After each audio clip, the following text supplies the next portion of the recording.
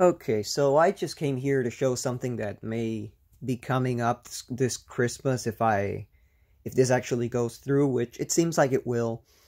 So I've been kind of, you know, I've been in a kind of in a in an obsession to restore my two rock Santas and one last year I fixed it. It works fine, it's acceptable, but the way I you know, the way I altered the mechanism, I just, you know, I regret it so much because it became very unstable.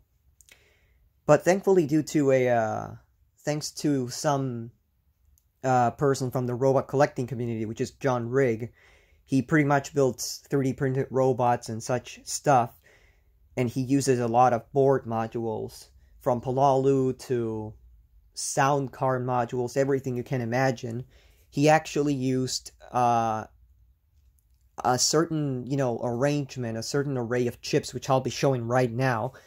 Uh, and, you know, it it worked out for me as as it did for him and it's a really good it's a really good way of making a, a fried rock santa dance again so there's three um three boards here ignore this one this is just uh an mp3 player board just like the other one it's just i just put it there for sample purposes just to show how it would look like but the real deal is this this is a double H bridge board, and this is a NE555 timer board.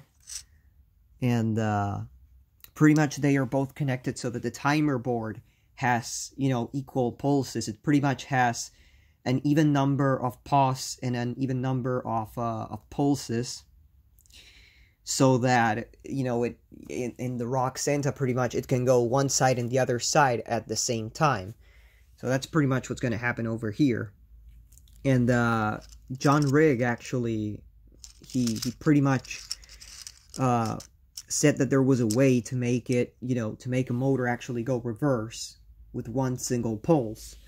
And he pretty much did it. I did it too. It's uh, you got to do a few bridges here and there. Put a 2.7k ohm resistor, which in this case I didn't have. So ignore this. This is just a bunch of resistors trying to trying to get to that one uh, value. Thankfully, I got to that value. It's even a little higher. Maybe it's uh, 2.8, but other than that, you also have to replace a capacitor because these pulse generators are very fast. The pulsing is really fast. If you put a light bulb, for example, it's just going to flicker. No matter the slowest, it's, it's going to blink fast.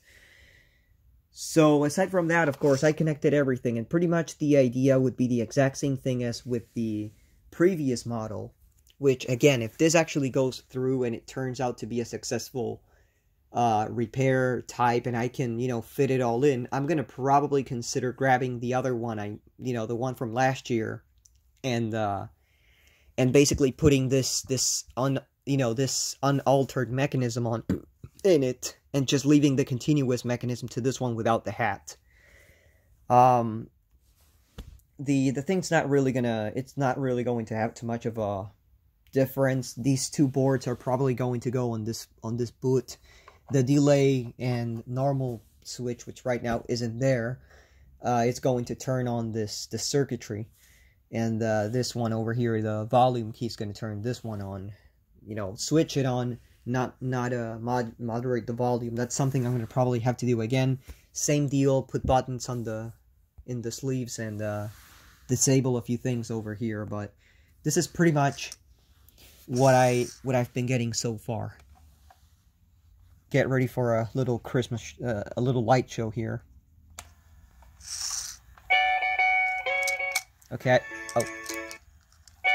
Okay, I paused it. As you guys can see right now, it is dancing, but it's dancing kind of slow. And it's doing that on purpose because I'm going to show exactly what you do. After you replace this capacitor, which I, I left the original SMD capacitor on there, just, just in case, if I ever need this for something else. But I put a 10 microfarad over there, and that's pretty much going to do the trick, so it's going to go slower. What you got to do after that is that just this potentiometer over here, uh, you got to tighten it up, and that's when the thing's going to go faster. So let me see if I can achieve that with this hand. and show how the Santa is going at the same time. That's going to be kind of tough. Uh, let's see. So I'm gonna, right now I'm gonna tighten it. It should be going faster now. And if I tighten it up a little more, we should be getting a decent speed. Similar to what it originally is supposed to run. And even if you do it a lot more, you're going to make it even faster. And if you do it a lot more, the hips are actually pushing my arm. I can't even, there we go. And if you do it like that, it's going to try to twerk. So I, yeah, that's pretty much the, the thing. So the reason why I actually, okay, I'm to be,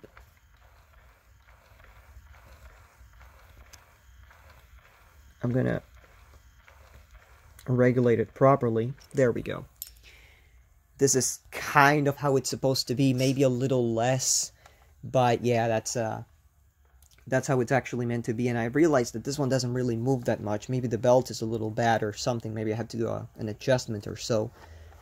But um, that's pretty much the first, the main part. And the reason why I I plugged this thing in is because I wanted to see exactly if there was any major, you know, any major uh, consumption from this or this that would not let the other one do its job. And so far, so good. I mean, I cranked it up for full volume and uh, it seems to work fine, so...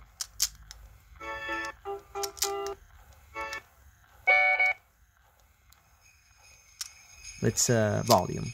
Dashing through the snow one-horse sleigh. We go, laughing all the way. Bells ring, making spirits bright. For that is the right, I sang a sleigh song tonight. Jingle bells, jingle bells, jingle all the way. Well, what fun it is to ride in one horse open sleigh. Jingle bells, jingle bells, jingle all the way. Well, what fun it is to ride in one horse open sleigh. Jingle! A day or two ago, I thought I'd take so yeah, that's uh, practically everything I had to show for now. Uh, this is how it's going, and uh, it's going to probably be postponed until... Maybe until I'm done with the repair I'm doing right now, but uh, I'm not too sure, and I have no certainness about it, but it works. And uh, so far it seems like it's going to be something that I will be able to, you know, put together and actually make, you know, leave turned on all the night. So, uh, another small, another small approach to perfection, ladies and gentlemen. Thank you for watching.